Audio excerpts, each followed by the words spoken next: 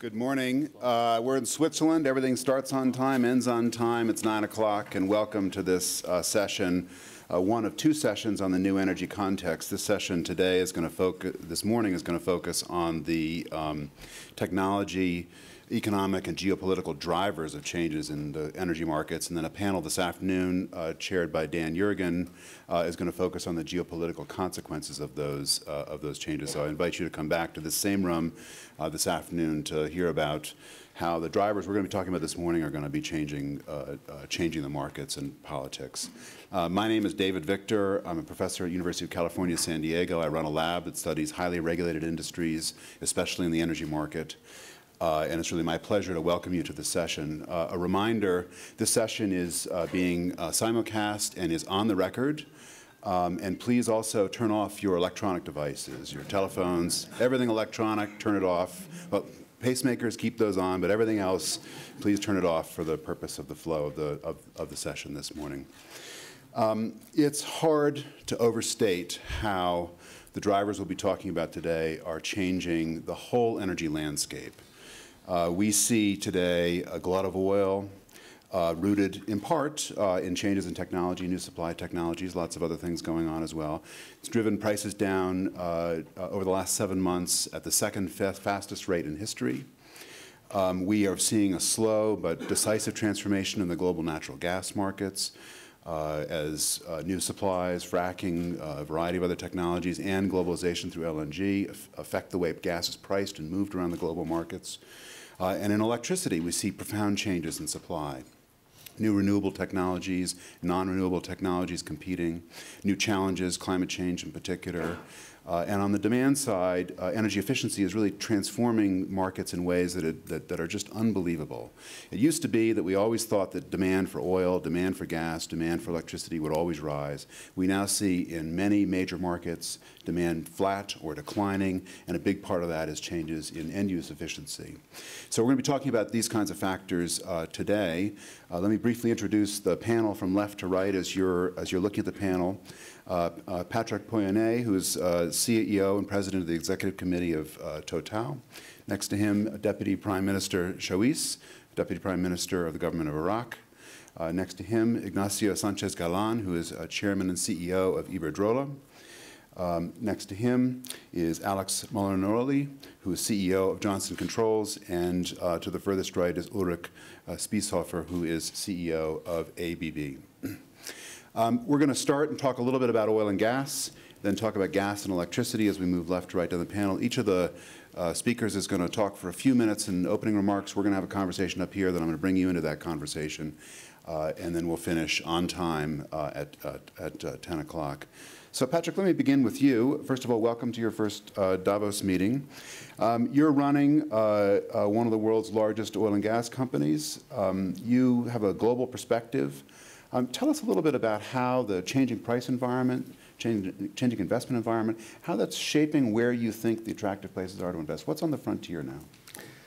Okay, first of all, when you speak about energy, um, you, you, need to have, you have two, two horizons to, to keep in mind. One is a medium and long-term horizons. The world needs energy. The world needs more energy. Why? Because the population is increasing. We need all this new population will need transportation. Part of the emerging countries needs more power. And so in the, you, all, you have to keep that in mind, that uh, we take an assumption globally of 1% of growth of need of energy for the coming 20 years. First remark, so we need more energy. Second remark, uh, when you look to the energy mix, the hydrocarbons will remain a big part of it. Uh, but will not necessarily increase in terms of absolute terms, but proportionally they should remain about 70% of the global energy mix in 2035. But that means that most of the growth will be covered by new energies like renewables, like uh, more nuclear, etc. But hydrocarbons will be at the, at the, center of the energy mix in 20 years. In hydrocarbons, you have, of course, coal, oil, and gas. For obvious reason, because it was less developed in the past, because it's cleaner, gas share will increase, and coal should decrease. You're not surprised, I'm an oil and gas producer, I'm not a coal producer. I don't intend to become it because of CO2 effect. And uh, one of the first messages there for an oil and gas company is the gas is a cleaner energy. We'll need hydrocarbons. We will need we'll increase the production of gas. This is important to keep that in the land, main landscape. The other point that you all have to keep in mind, oil will remain quite big, around 100 million barrels per day. And it's, maybe it's, I have to repeat it, there is a natural decline in the oil production. So between today and 2030, out of today's production, 100 million barrels per day, 90 million barrels per day, half of the production will disappear because the fields are declining naturally. You can invest to maintain, but you have a natural decline of 5% per year. This means that we will have to invest a huge amount of money around if we want to cope with the request for oil in 2030. Around 50 million barrels per day. It's an enormous amount of investment behind that. And this is why I speak about it, because if you want to meet that oil demand and gas demand, you will need to go and develop technologies and address resources which need higher cost, I mean, which are more expensive, like, of course, oil, like uh, oil sands, etc. When I go to the short term, what is happening, in fact, is just a commodity, a cyclical a co commodity. We are in a cycle. oil is a, is a commodity, and you're a cycle. What is a cycle? A cycle is you've seen price went up, and you have two drivers behind the cycle. It's money and technology. Price went up to $100 per barrel. A lot of cash came in this industry. Lot of cash means more projects. Beginning to tackle with many, with more expensive resources. More cash means higher costs also, because the service companies, because we, we requested for better technologies and service companies wanted themselves their share of the cake. So more projects, higher costs also, because as you have more projects, your wool industry has an overeating, and you have more projects, more, more demand than offer. So higher costs. And then also a technology effect, which is thanks to this uh, capital, more possibilities to spend capital, we begin to develop new technologies. It was spectacular in the US. In, 20, in 2007, nobody was speaking about shale gas or even shale oil. It's seven years ago. Why did, they, did we manage to develop shale gas heroes? Because a combination of higher prices and technology. The technology was well known. The fracking is not a new technology. But we, will be, we have been able to develop it because of a price signal. It was becoming, in fact, profitable to frack. And it was becoming profitable to develop shale gas at the beginning at uh, the equivalent $8 per million BTU. The price went down, and then the technology, the efficiency of the world system managed to maintain the pace of development. So price and technology. Technology is also important in this commodity business on demand. Because of high prices, people have developed technology to be more energy efficient. It's true in our production processes, but it's also true in the car manufacturing sector. Today, the motors, the transportation, the, the, the new cars much, are much more efficient in terms of consumption of, uh, of, oil or of oil than before. So this has an effect on demand. So high price, more projects, higher costs, more technology, more resources, and then today what is happening, you have more offer and less demand. Mm. So the cycle. And the cycle will do it in the other way, you know? oil is $50. I have announced today that I'm reducing my investments, like all my, co my colleagues probably.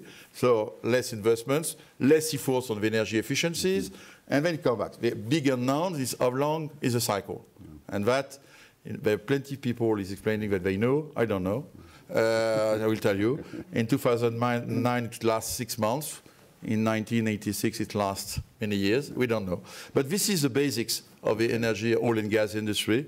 Uh, but main, my last message is on the medium and long term, we need more energy, we need oil, and so the cycle will come back, and the price will come back higher again. Great, thank you very much. Let's hear from uh, uh, uh, Deputy Prime Minister Shaways. Uh, Iraq, a lot's happened in Iraq, and yet there's a tremendous amount of investment. Uh, tell us, tell us why Iraq is so successful now in attracting new investment, are you worried about this new low price environment, or are you with Patrick and prices are going to come back up and it's uh, more investment charging ahead?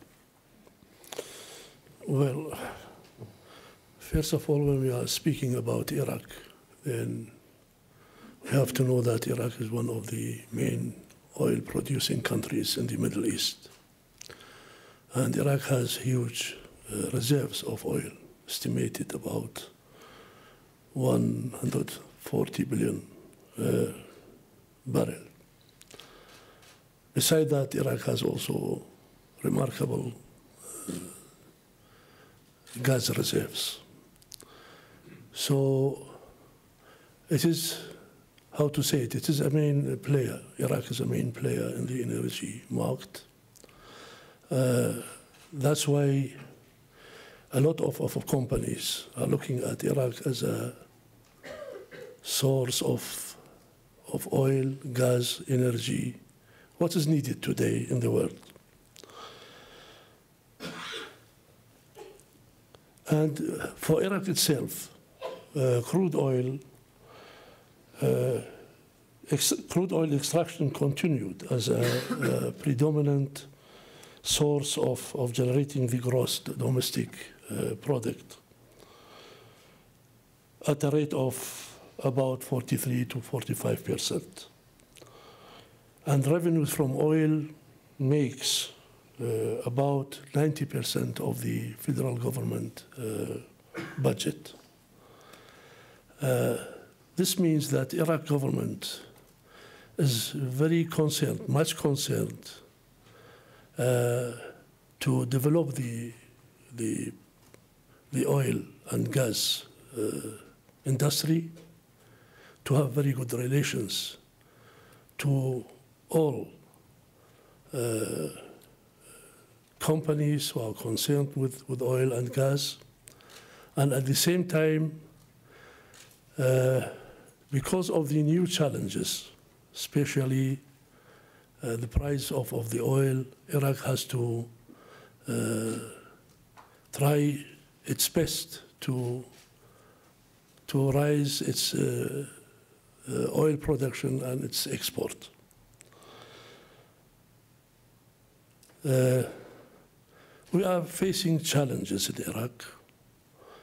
Uh, beside the heritage from the old regime, from Saddam Hussein's regime, uh, a semi uh, a semi-socialist uh, uh, uh, economy, policy, corruption, social and, and political problems. We are facing now we are facing now the uh, battle and fight against terrorists, especially IS. We are facing uh, a huge number of ID, IDs. Uh, the number is estimated to be about 2 million people who are uh, displaced internally from areas which are under the control of IS, IS to other safe areas especially to, to Kurdistan. These all, these all are problems which we have to tackle, to uh, found solutions for them. Certainly, Iraq alone cannot do that. We are in need of the cooperation and help of the international community. Uh, coming back to the oil, Iraq has an insufficient infrastructure, uh, oil industry infrastructure, an old one. So a lot of work has to be done in this area. Besides uh, political problems among the different component of the Iraqi uh, population, has led to a situation where Iraq cannot uh, produce its maximum or export its maximum uh, of its capacity of, of, of oil. Uh, uh I am glad to say that the, last, the last agreement between the federal government of Iraq and the region of Kurdistan about the oil policy and about the oil export through the pipelines going through the Kurdistan region will enhance the uh, production of oil and export of oil. It will raise the export of oil to uh, uh, a level of more than 550,000 uh, barrel uh, a day. This means that uh, the Iraqi federal government and also the, the regional government of Kurdistan, both, both of them will benefit from this, this uh, agreement. I'm sure there's going to be some more questions about that when we get, let's get, get some initial views from the other panelists. Let me turn to you, uh, Ignacio Sanchez Galan. Um, your company, Iberdrola, is in making huge investments in renewables and electric power grids. Almost every study, when they looks to the future, sees a future that's more electrified, and especially if we reduce carbon emissions. So, so tell us a little bit about where this investment is going to come from and how the changing structure of the energy markets is, is that making it easier to attract the investment needed or is it making it harder? Well, perhaps I will try to make a, a short uh, view of what is uh, the world require in the next few years. So still in the world there are 1.3 billion people without access to electricity. So that is an issue. So it means that uh, if the energy sector require investment, in the case of electricity, the sector require much more investment than nowhere else. So uh, the expectation of growth in electricity demand in the next 40 years, according to International Energy, Energy Agency, is on the range of 80%, so which I think is, is, quite a lot. That will require investment in the range of $20 trillion in the next 30 years, so which I think that is the main challenge. Uh, uh, emerging countries, those ones with still in certain cases has not access to electricity, will require almost two-thirds of this investment, but developed countries as well require quite a lot. I think uh, in most of developed countries, networks are becoming obsolete. We are seeing day-to-day the blackouts with existing countries like the United States. They are already, we are seeing in Europe how we are already, because of the wrong energy policy in certain countries, we are already closing down certain efficient power plants, so because the planning was not correct. And, uh, and, and, I think that uh, is uh, one of the, of the uh, opportunities which we have already in this moment. I think in the, in the emerging countries, most of the investment is going to be addressed to build new power generation and new networks. Uh, but I think they have the challenge to not repeat the mistake we have already made in the Western world. Uh, uh, mainly on the area of planning and mainly on the, on the area of regulation. So uh, uh, that's why I think in the World Energy Forum, in the, in the, in the group of electricity which I chair, we have already produced this year a, a, yes, a document which is what is the future of electricity for the developed countries, and we are planning to make another one, what is the future of electricity for, uh, for, new, for the emerging countries, just precise to try to see what are the challenges. So uh, uh, the main thing which uh, uh we, uh, we address in this document is how to address, how to uh, raise the, the, the, huge amount of money with this investment, for this investment with the countries require. The first thing is strong planning, a strong planning and to make the right choice of the right technologies. We have already made in the Western world quite a lot of mistakes in certain areas. We have already invested heavily in certain renewables in, in, an, in an immature uh, period. So, which I think that is already producing in this moment a tremendous problem of competitiveness of the, in the electricity supply. We have already to control properly, uh, they, they, have to control properly uh, uh to make an adequate implementation of this investment.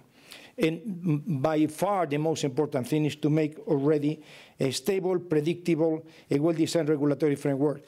We have certain examples in this moment in countries which are already now in a growing period, like Mexico, which recently has already made this energy reform, has already made the President Peña Nieto, which is already a good example how to address, how to change the situation of a country, how to attract investment. So uh, uh, renewables, uh, Iberdrola, as you mentioned, we are the largest by far investor in the world. We are more than 25 billion uh, euros invested in, in renewables. But we try for all means to invest in those ones which are more mature. So those things which are immature can already uh, live for a certain period of time under a good, uh, let's say, subsidy period. But that is not ready a, a real a balanced situation. At long term, the consumer have to pay for it, and the politician has already this sensibility, and they will change the rules as we are already facing. So I think those are the main address. Okay, thank you very much. Thank you very much. So um, next, I'd like to hear um, uh, from Alex Molinaroli, uh, CEO of Johnson Controls. Alex, your company is investing heavily in a whole range of energy efficiency technologies. Tell us a little bit about what you see as the most important technologies and how they're going to change the way users interface with the energy system. Well, I, am a little unique on this panel because we've talked about supply side quite a bit and, and the choices that have to be made and how those choices are made.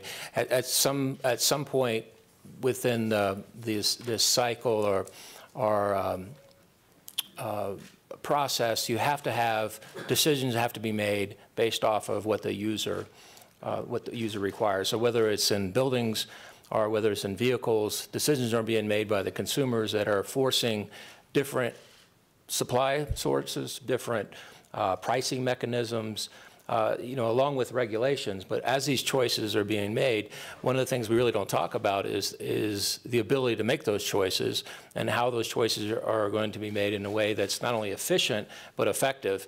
Because you can apply all these technologies, and and if if you were able to have a theoretical system that was most efficient, we have plenty of energy that's being supplied today. Uh, it's usually just in the wrong place at the wrong time uh, and, the, and, at the wrong cost. Um, but but with the choices that are being made and the technologies that exist within both vehicles uh, and, um, and buildings and residences, uh, those choices will become uh, easier to make.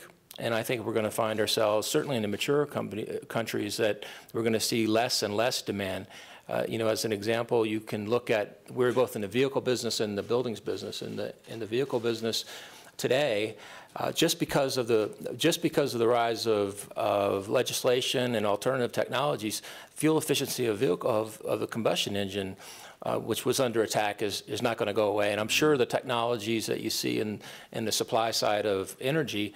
You have you have pressure from new technologies that's going to for more, force more efficiency in the supply, and so I think all these things are are building an ecosystem that allows smart choices, uh, and if we're able to have those smart choices, we can use less energy and also get the energy to the right places. And, and I think having a connected system, both from the supply side and the demand side, is, is, is critical in order to make that happen. Okay.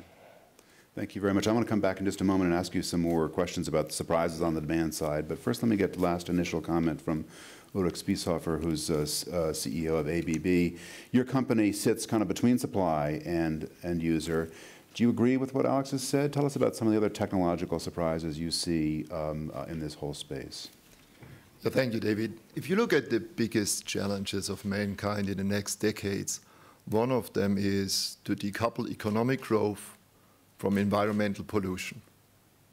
And the way we're going to get there is by making sure for every unit of GDP output, we use less energy.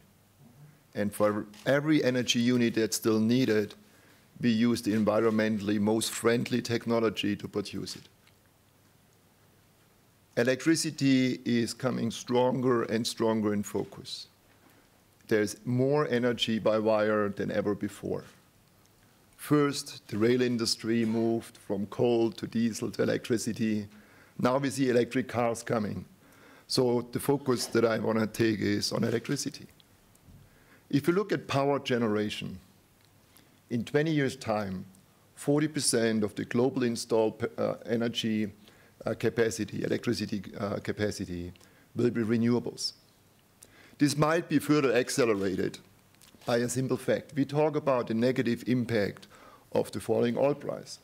There's about half a trillion, 500 billion dollars spent every year on subsidies for fossil fuel. In India alone, it's 30 billion, more, between 30 and 40 billion a year. The redirection of that money might accelerate further renewable technologies. Renewable technology on the power generation side means more volatility, less predictability, higher intermittence. That means we need to have a wider connection of generation sources to ensure we can balance off the different pieces. We need to make sure over the longer distances that renewable require, because you don't build renewable power plants in the city of New York, you need to have lower loss technology.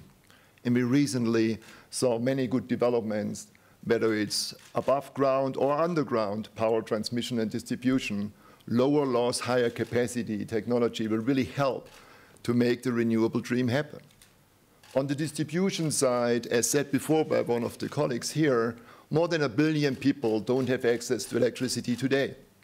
New technology on microgrid and nanogrid level, where you bring together renewables, some conventional backup, energy storage and local distribution will enable the 600 million people in Africa, the 400 million people in India that don't have access to electricity to get that done in a more sustainable way.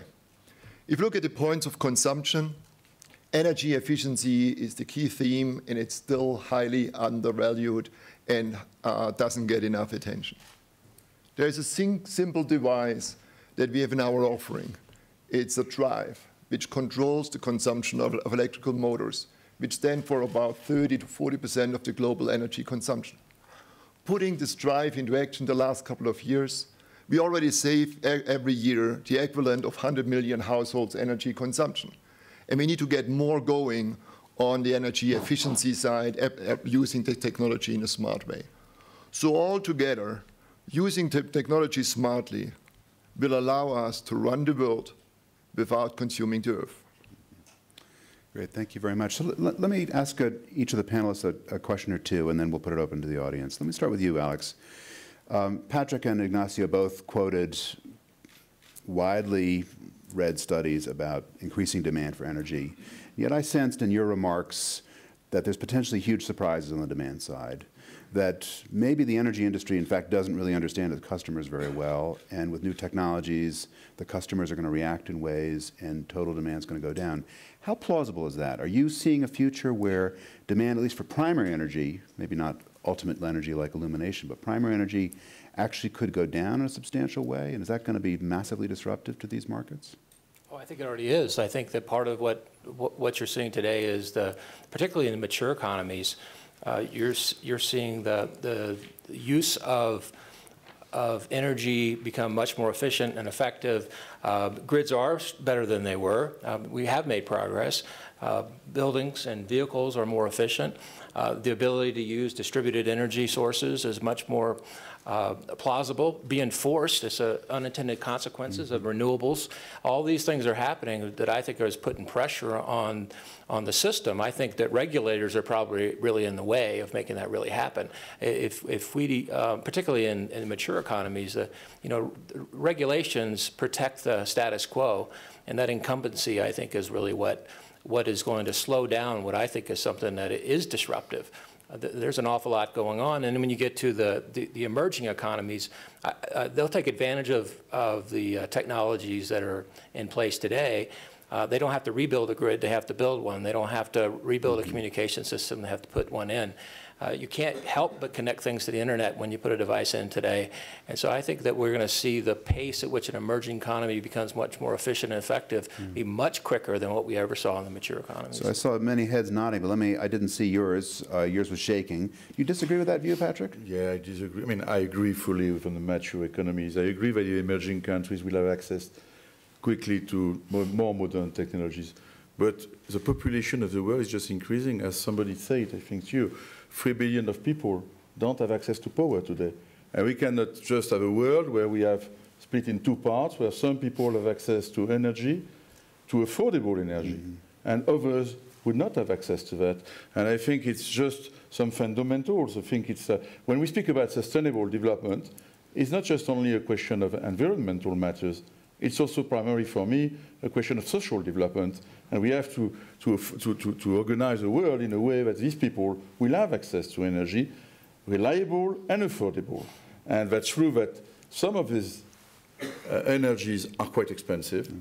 And uh, we have to keep that in mind, even if, frankly, even Total, you know, we, have, we, we are today, it's not well known, the second uh, solar company in the world in terms of equipment, providing equipment. So we believe in these technologies, we, but it does not mean that at the same time we will need, not need the more traditional ones, maybe more efficient, but we will need to bring this technology to all these populations. Okay, so two pretty different views here on something that I think a lot of us thought we, we knew a lot about, which is demand for energy. Let me ask you, Ulrich, um, tell us a little bit about how the business model is going to change. Um, seems like one of the logical extensions of the arguments that several people have been making about new technologies is that with new renewables and more responsive customers and so on, that the value chain, the value in the value chain is not necessarily going to flow to the traditional companies, big electric utilities and so on. Do you see this as fundamentally disrupting their business? Do you see the big utilities as dinosaurs of the past and new kinds of companies coming in? Are the regulators in the way of that process?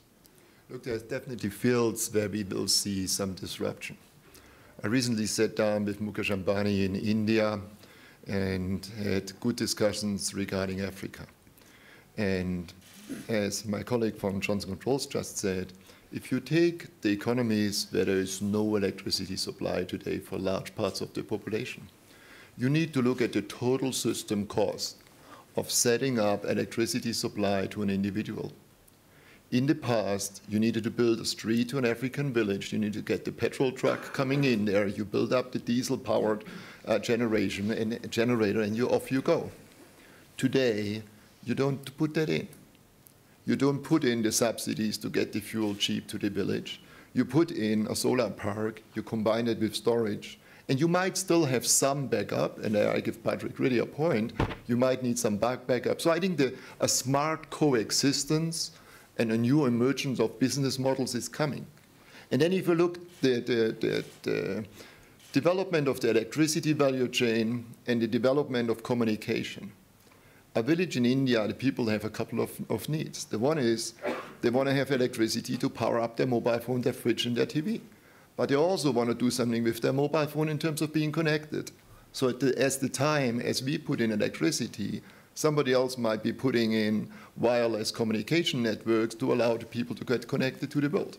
So it's a coexistence. We will not have a total revolution in the traditional economies turning tomorrow upside down. But we will have a more stronger perseverance and a higher speed of development.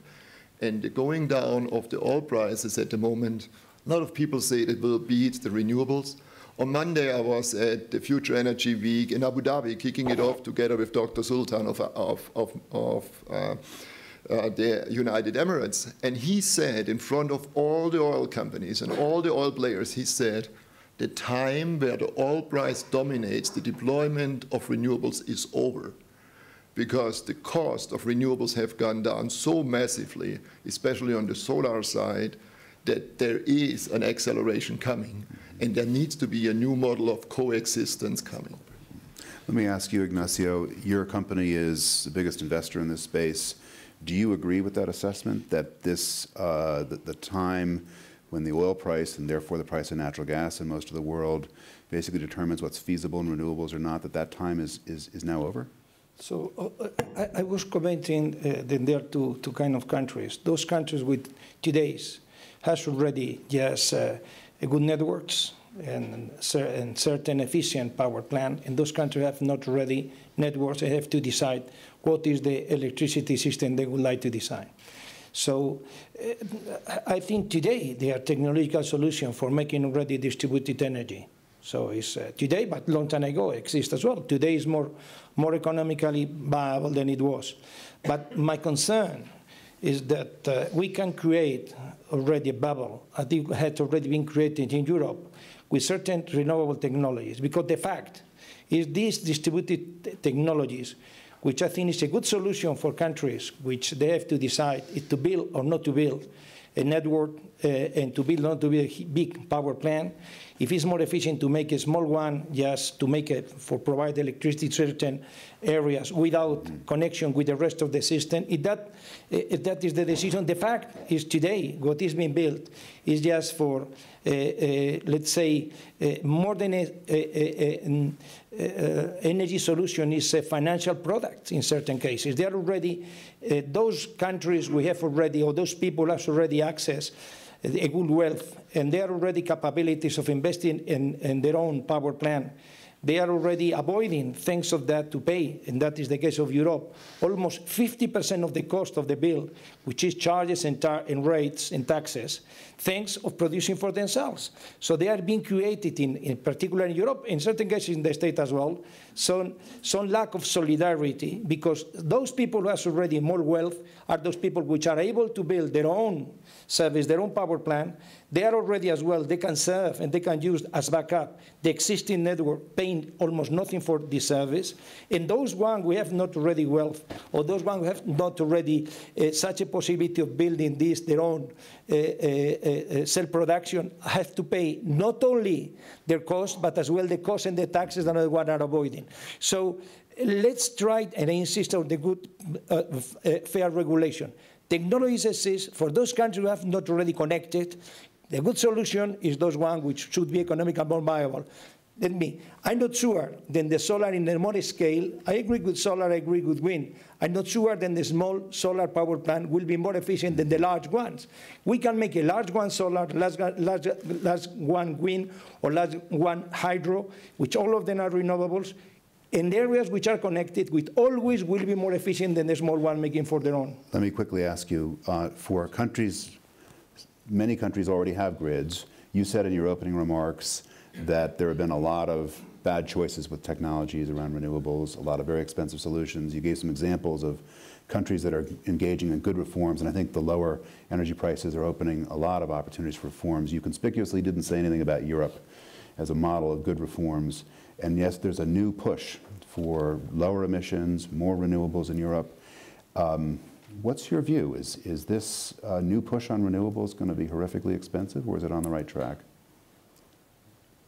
So, uh, no, I, I Briefly think on this, and then I want to ask Patrick, and then we'll come back to the I deputy. just So uh, I I think in the in this particular scenario, so i- there, with the low energy prices in this moment, is a unique opportunity in, in Europe to accelerate the process of uh, uh, go uh, to the ETS, uh, to go to the reserve mechanism for uh, putting already a floor for the CO2.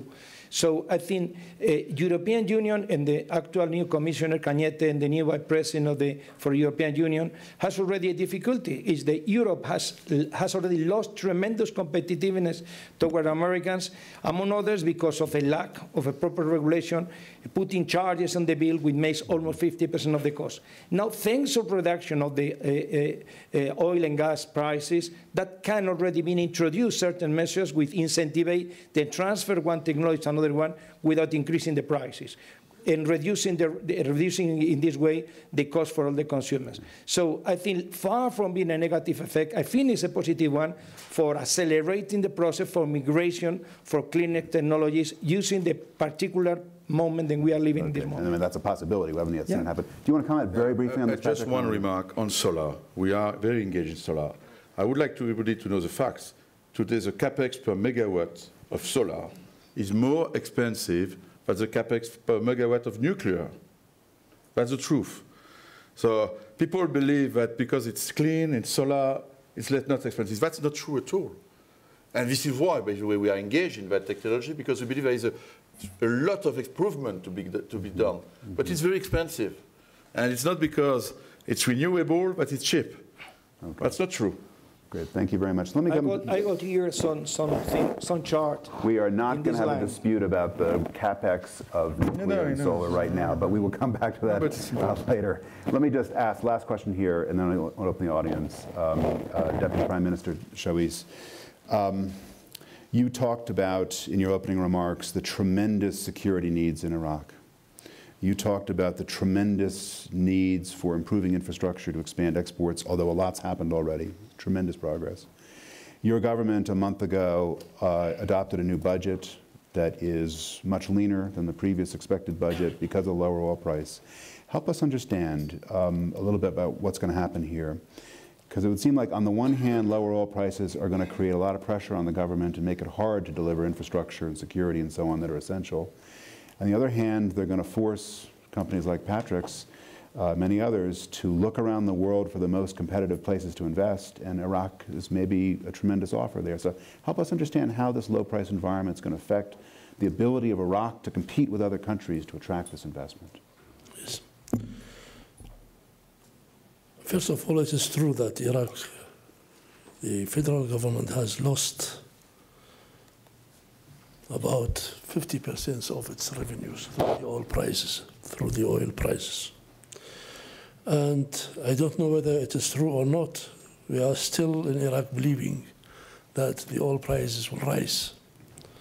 It is not permanent, the situation, and there should be some regulation in the prices. And also, I think it is also the duty of the international uh, community not just to think to, to lower the price of the energy for Europe or other countries, but to think about the oil producing countries also by such uh, uh, low prices. In Iraq, uh, we are facing uh, complex uh, problems and, and challenges.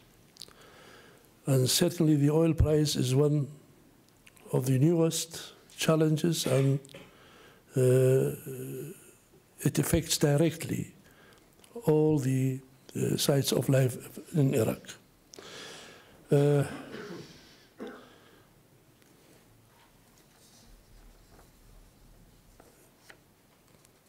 what should be done in Iraq to address its challenges? First of all, it is Uh, very important to stabilize the internal political scene.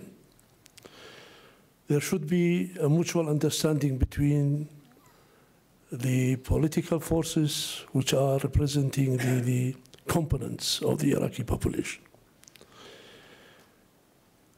Without the stabilizing the, the political situation, we cannot turn over and stabilize the, the security situation.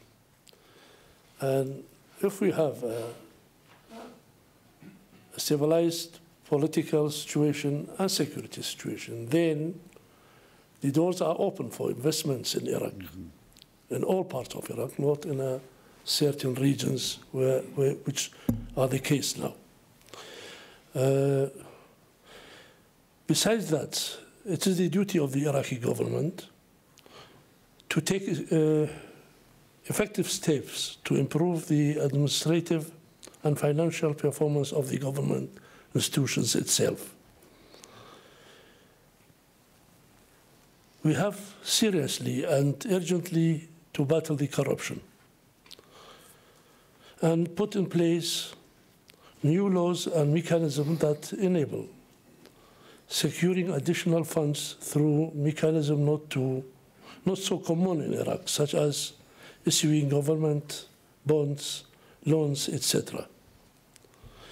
Also, we have to take urgent steps to boost the role of the private sector, especially the private banks, and utilize the revenues from the energy itself to boost industrial, agriculture, and service sectors. Thank you very much for that. Let me just uh, uh, stop you there so we have a chance for some questions. Uh, uh please identify yourself over here, identify yourself when a microphone comes, and um, ask your question briefly. Um, hi, David. It's Steve, Steve, Howard from IKEA. Uh, more of a comment than a question. I think when we're comparing technologies, uh, we've got to look compare not just capex but opex. And there's, I was thinking there's decommissioning X as well, capex, opex, and decommissioning X when we're comparing things. We're not at Iberdrola, but we've invested about uh, $2 billion in wind and solar. We find it a really... 25 billion. You, no, we've done two. Ah, sorry. You, uh, you're ten, 10 times ahead of us. But, uh, and but, but, yours comes with an instruction booklet. Yeah, and, and uh, successfully assembled as well.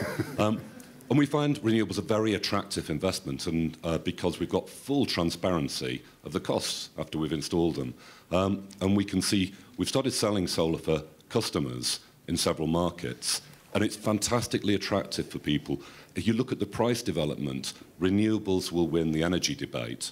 Uh, we just haven't realized it yet. Maybe some of us have, but renewables are winning the energy debate.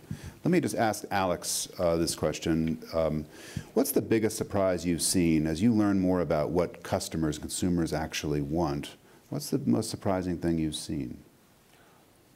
Well, I, customers don't want, I, will give you a good example. Um, customers don't really want electric cars. They want cars that are more efficient.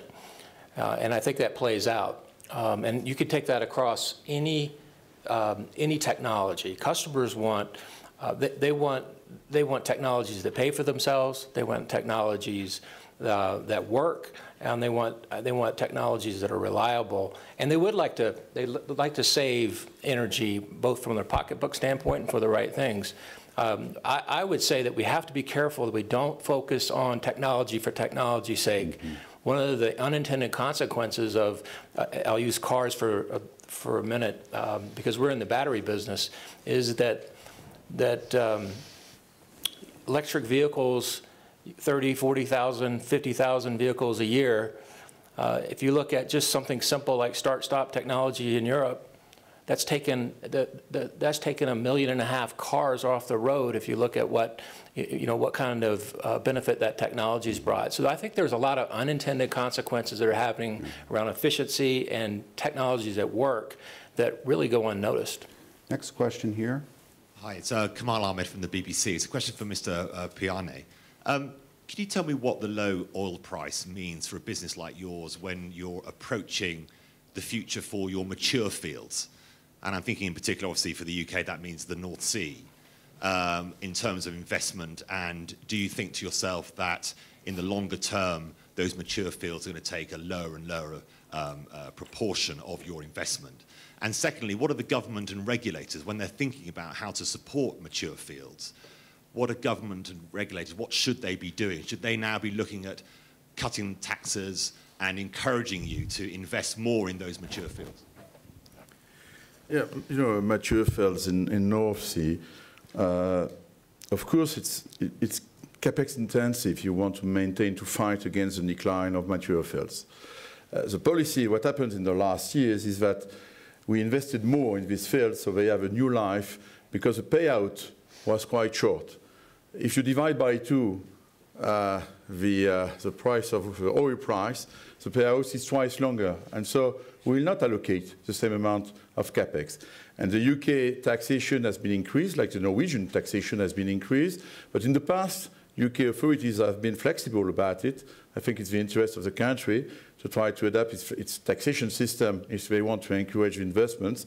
But obviously, and I it's not a, uh, among the cuts that we will down in 2015, the allocation of capital into capex to this type of mature fields will be diminished, that's true. So we'll see what will be the answer of the regulators, but it will be the case not only in mature fields all over the world. We have to adapt ourselves, and uh, even if we keep a long-term strategy, again, I speak long-term, short-term, but you know, when we have embarked in uh, greenfield projects, we, we cannot stop them we have to, we have to maintain them. So the part of the capital investments that we can arbitrate is mainly, mainly on this type of mature fields. Next question here, please, sir. Stefan Tanda with uh, Royal DSM. We are active in advanced biofuels from agriculture waste and in solar. Uh, two questions, uh, one for Mr. Molinaroli and Mr. Spiesshofer. I have not heard anything about uh, energy storage development and energy, energy storage, obviously very important for renewables. And for Monsieur Pouyanné, uh, you talked about the sustainability aspects from a social uh, point of view, but obviously there's also the environmental story. Do you expect a more aggressive price on carbon anytime soon in the different geographies that you are active in? Thank you. Why don't we start with that one? $100 a ton?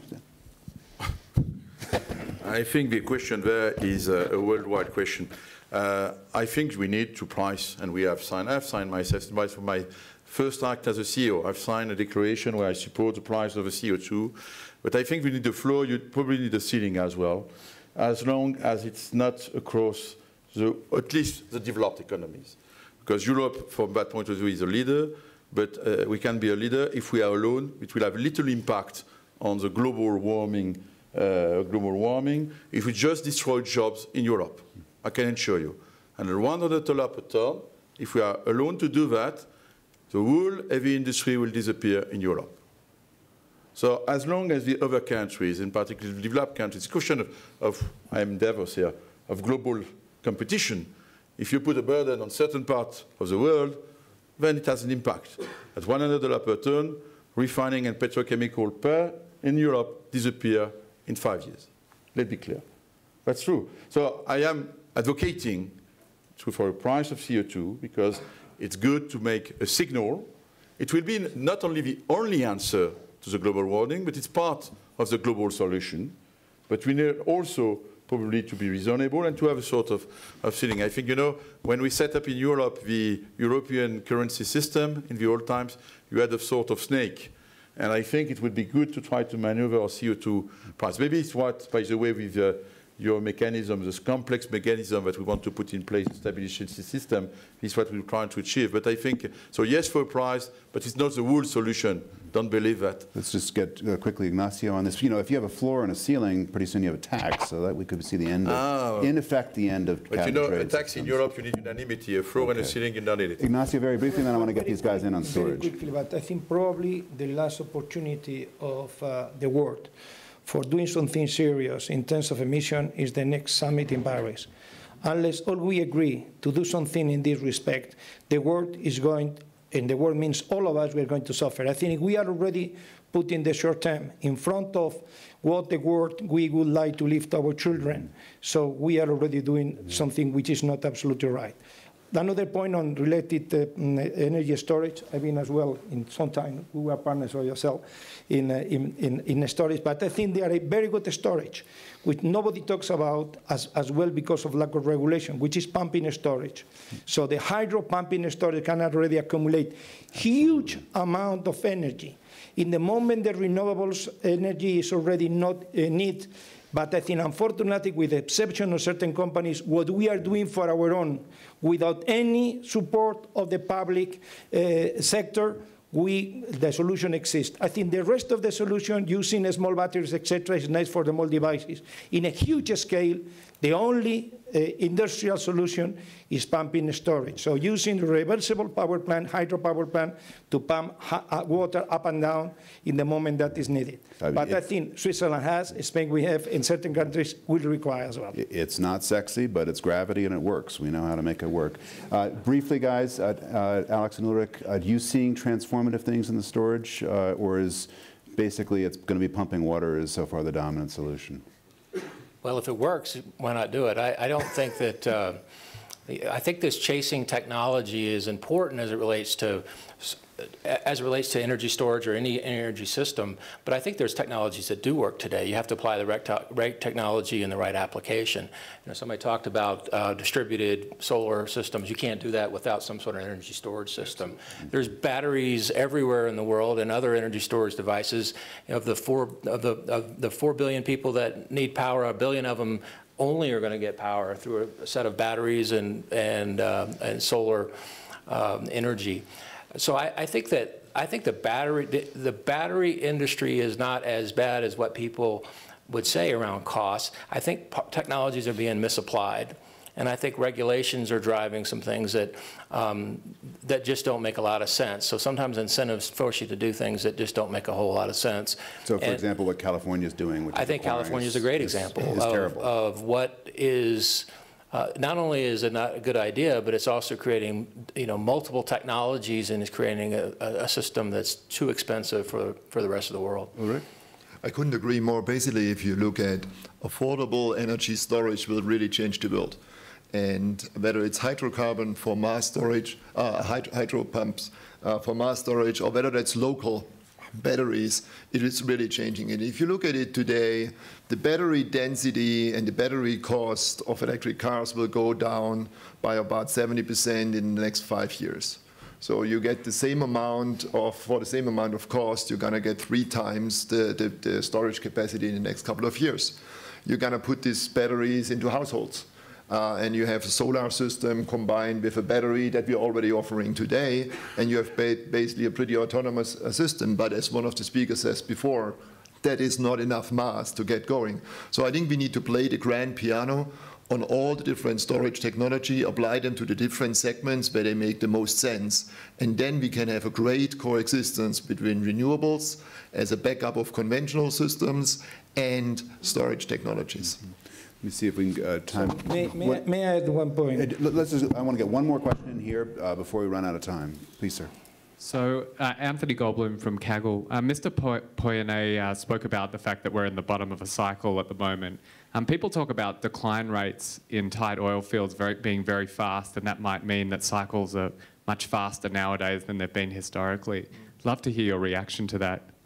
On title, uh, I'm, uh, I think, you know, people underestimate today the capacity of the system, in particular the US industry, to, uh, to react in terms of efficiency. We've seen that in the shale gas. We'll see that in the shale oil. I think uh, there is a room for improvement, a huge room for improvement. You have to know that uh, today around 80% of the shale tight oil uh, production has a cost of under, under $70 per barrel. It's quite easy, I think, to drop that cost to something around under $50 per barrel. Having said that, there is a limitation, which is the financing system, the cash. Because what today it will hurt the US independents is more to have access to cash because they are leveraging a lot, even if the interest rates. So you will see, and you have seen the announcements, most of, most of them are announcing investment cuts by 40% for next year, which is quite big. So it will have an impact. But then I believe we, we don't have to underestimate the capacity of being more efficient and of technology and rule adaptation of the US oil industry. Uh, another point is that unconventional are very capital intensive but offer flexibility. So if you want to stop your investment, and we will do that, we have some fields in the US on, uh, on the eastern coast, my instruction is clear. We will limit this year the, the, capital investment there. Why? Because I will not drill some wells during one year. I can come back in one year when the oil price and gas price will come back.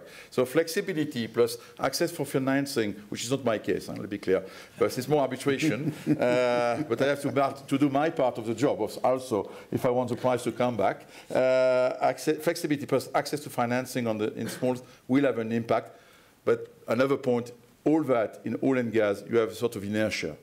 It's quite resilient. So you don't see a big drop quickly. So, but, so this is a complex issue, and I think I'm more believing what I said before, that the impact on the low price will affect your decline rate on the mature fields, which has a big impact at the end of the day on the production, rather than all, on all these new resources. You have other resources which are much more expensive, like oil sands, for example. One more question? Please, last question here. Ken Hersh, NGP Energy Capital Management in the States. Um, Mr. Pouyanné, uh, you seem to be talking uh, past each other. You focus on uh, the petroleum system. There's a billion cars and trucks in the world. Um, the rest of the panel is talking about electricity, which is a minority of energy, um, and it's actually not an energy source. Um, how do we, if, if we had a convergence between transportation and electricity, what would be the incremental demand that would be needed in natural gas and other energy um, electricity producers. Let me see if anybody wants to, to comment on that. Let me ask it instead of a, uh, um, Alex, did you want to comment on this? Uh, I, you, you don't have the microphone anymore. I, am not sure I, I, I, got the question completely. Let, let me, let me uh, summarize. Let me first summarize this factually, and then I want to ask a question technologically, which is, the, the work that's been done, EPRI, Electric Power Research Institute, for example, has done a bunch of work in this area.